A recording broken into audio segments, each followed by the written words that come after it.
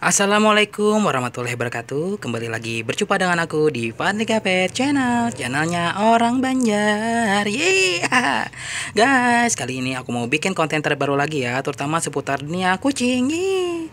Bagi kalian pecinta kucing atau cat lover Tidak hanya cat lover di Indonesia maupun cat lover seluruh dunia Wajib banget untuk selalu menonton video-video kucing terbaru aku Ya. Insya Allah akan upload atau kata yang setiap harinya di channel kucing aku Fadlika Pet Channel. Pastikan kalian semua menonton ya Karena rugi banget deh. Kalau kalian tidak menonton guys Kenapa? Karena banyak banget informasi penting, informasi menarik seputar dunia kucing yang sayang banget kalau kalian lewatkan begitu saja. Ini untuk, untuk menambah pengetahuan kalian, dewasan kalian seputar dunia kucing tentunya. Apalagi nih kalau kalian rumah banyak banget melihara kucing ya seperti aku nih kurang lebih 8 ekor kucing guys. Karena beberapa minggu yang lalu ya, Mami Putih telah melahirkan dua ekor kitten kitten yang sangat lucu ini ya, menggemaskan unik. Pokoknya imut ya gokil lucu paling lucu di seluruh dunia cuma kucing pada pet channel saja guys bagi kalian yang penasaran terkait proses kelahiran dua ekor kitten ini ya yang sedang grooming grooming manca ini ya boleh saja kalian ya langsung meluncur ke channel YouTube aku pada GP Channel untuk menonton ya proses kelahiran tersebut ya. Dan bagi kalian punya masalah terkait kucing peliharaan kalian, misalkan kucing kalian sakit, kambing, melahirkan ya, terus mati ya, malas makan, suka tidur tiduran dan lain sebagainya, kalian takut kalian khawatir, jangan takut dan khawatir guys. Kenapa? Karena aku punya solusinya guys. Solusi untuk mengatasi kucing bermasalah, solusi untuk mengobati kucing bermasalah dan solusi untuk menangani kucing bermasalah tersebut ya. Langsung saja kalian tonton video-video aku seluruhnya ya sudah terupload di YouTube aku, oke? Okay? Boleh saja kalian nonton sendirian di kos-kosan bagi kalian mahasiswa, boleh juga bersama keluarga, teman, sahabat, tetangga, malu halus juga boleh guys. Malah aku senang videoku ditonton oleh banyak orang, oke? Okay?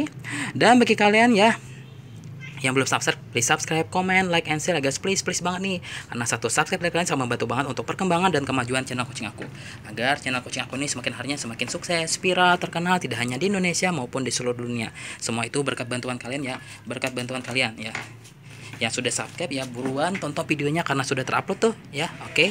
yang belum subscribe buruan subscribe sekarang buruan subscribe sekarang aku tunggu loh oke okay, oke okay, oke okay, terima kasih guys kali ini aku ingin menyampaikan informasi penting banget kepada kalian ya nih kalian pernah gak diikut-ikuti oleh kucing kalian ke mana pun kalian berada ke mana pun kalian pergi selalu diikutin ikutin kucing kalian nah ada pertanyaan kenapa sih kucing suka mengikuti kita ke mana-mana ya bahkan sampai ke WC pun diikutin oleh kucing Ini jawabannya ya guys. Simak videonya sampai selesai dan jangan di skip. Oke. Okay? Nah, pendapat umum menyatakan bahwa kucing yang bahagia ya dan puas sebagian besar tidak akan peduli pada manusia, terutama pemiliknya ya.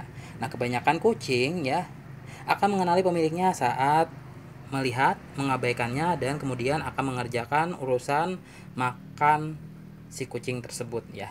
Nah, seekor kucing yang mengikuti kalian dari kamar ke kamar merupakan keadaan yang tidak biasa bukan umum ya apalagi sampai ke WC sampai me mengamati kalian mandi gitu saat telanjang telanjang seperti kucing aku guys ya nah jika kucing kalian mengikuti kalian berkeliling-keliling Nah, si kucing menginginkan sesuatu loh guys dari kalian. Pastikan bahwa kalian tidak melupakan jadwal makan atau waktu bermainnya. Nah, kucing mungkin ingin lebih diperhatikan terutama jika bosen ya. Nah, beberapa kucing mengikuti kalian karena takut akan sesuatu yang mereka lihat atau dengar. Nah, kucing itu mungkin ingin tahu tentang apa yang kalian lakukan atau mencari wilayah baru. Nah, kucing mengikuti kalian secara tiba-tiba adalah perilaku yang bisa dihentikan dengan memahami penyebabnya. Nah, jangan mengabaikan kucing kalian atau mengusirnya. Nah, pelajari mengapa kucing membayangi kalian dan lakukanlah beberapa penyesuaian. Seperti hal ini ya, guys. Kita tanya dulu, kita jawab dulu pertanyaan mengapa kucing mengikuti ke mana saja gitu. Nah, di sebagian besar waktu kucing akan mengikuti kalian di sekitar rumah karena menginginkan sesuatu dari kalian. Nah, seperti makanan. Nah, lihatlah jam ketika kucing kalian menumbutin kalian. Nah, kalian mungkin sedikit lupa dengan jadwal makan si kucing tersebut atau jadwal bermain kucing tersebut ya. Nah, jika kucing kalian sudah makan, mungkin berbagai penjelasan lain untuk perilaku tersebut ya. Tinjau gaya hidup kucing kalian untuk memastikan si kucing bahagia atau sedang tenang. Yang pertama ini kebosanan ya.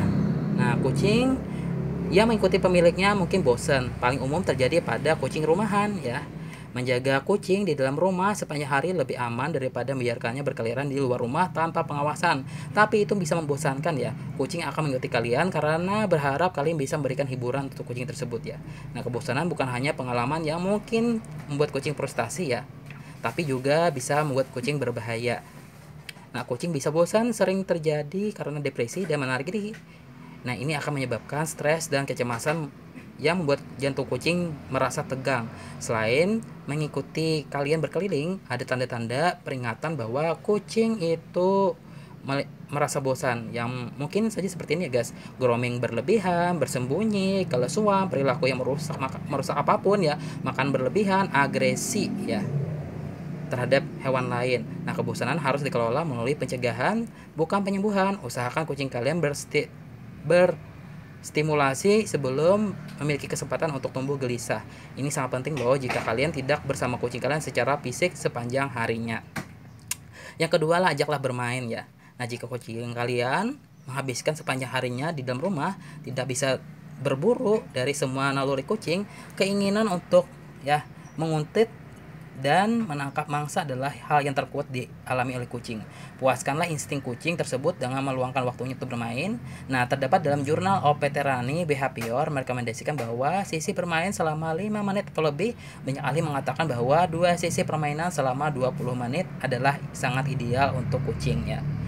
Nah, pertimbangkan juga untuk mengurangi waktu ini dan tindakan frekuensi bermain kucing ya yang lebih tua karena si kucing mulai lelah ya. Nah, manfaat nyata dari bermain adalah melelahkan kucing kalian dan memperkuat ya ikatan kalian kepada kucing tersebut.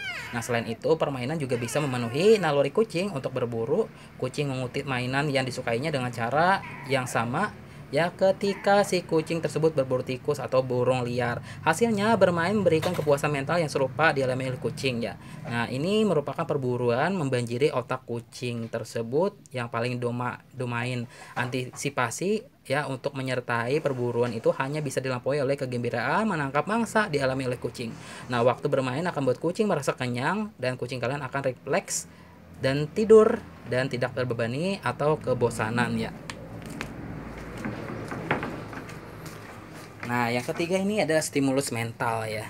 Nah, kucing perlu dirangsang secara mental terutama ketika si kucing bertambah tua ya. Kucing tua tidak dapat berolahraga secara fisik sebanyak yang mere si kucing sukai.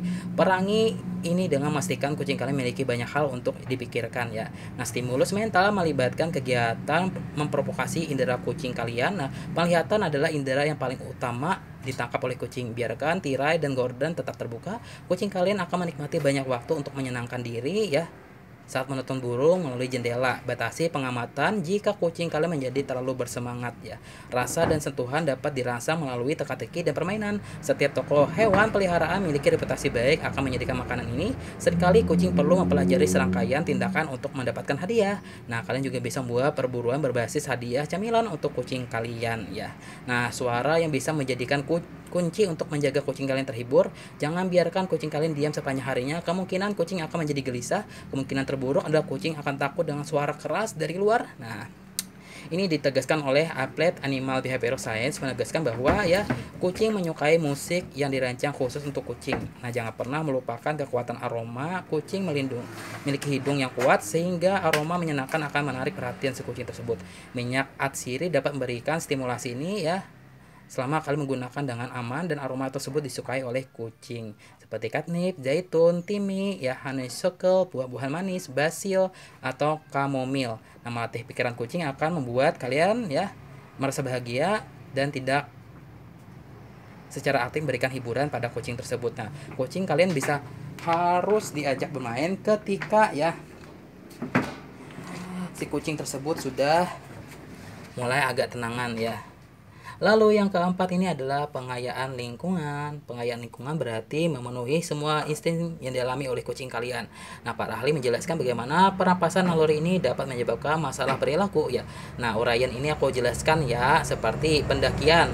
Kucing suka memanjat pohon, akses tidak akses tidak terbatas ke tangga, tempat melompat-lompat ke atas lemari. Nah, atau juga kucing suka menggaruk-garuk. Nah, misalkan papan garukan, ya ada kotak karpet tua, kayu, tikar, ambal gitu kan. Terus juga kucing bersembunyi. Nah misalkan ke dalam kotak kardus laci terbuka lemari dan kamar cadangan gitu. Lalu memasuki terowongan. Misalkan terowongan plastik dari toko hewan peliharaan terowongan buatan sendiri atau kardus gitu ya. Nah kucing mengunyah misalkan mainan plastik yang kokoh kabel amat yang tidak dialiri listrik, daun tanaman plastik, dan lain sebagainya. Nah, hal ini relatif sederhana untuk mencegah kucing bosan, hanya butuh waktu sedikit usaha dan pemahaman tentang kebutuhan kucing. Nah, jika kucing kalian terhibur, si kucing tidak akan membayangi kalian dari kamar ke kamar. Nah, ada juga ya kucing mencari perhatian. Nah, kucing sering mengikuti manusia ketika mencari perhatian. Ini tidak berarti bagi kucing yang bosan, mungkin ada beberapa alasan mengapa kucing tersebut ya mengikuti kalian. Misalkan ada verbalisasi, mengitari kaki, mencium-cium pergelangan kaki, memukul-mukul dan mencakar-cakar. Nah, ini adalah mungkin hal yang perlu kalian ketahui bahwa kucing kalian tersebut butuh hiburan dan butuh perhatian dari kalian. Dan ada juga mengelus-ngelus dan membelai-belai ya. Nah, ini atau juga bisa meminta bantuan kepada kalian apabila kucing tersebut ya memang ada ke keluhan atau masalah ya. Dan juga bisa memperingatkan kepada kita sebagai pemilik ya. Mungkin ada hal-hal yang ingin kucing sampaikan kepada kalian ya. Ya misalkan kucing berak kucing lapar dan sebagainya ya. Mungkin juga ketidakamanan ya. Atau juga kecemasan atau perpisahan dan lain sebagainya. Bye